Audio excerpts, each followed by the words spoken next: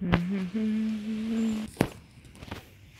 Mostrando, bom, boa tarde pessoal, mostrando a vocês aqui uma plantação de alface, couve, pimentão, batata, coentro, cebolinha. Fortalece aí no like para fortalecer meu canal, por favor.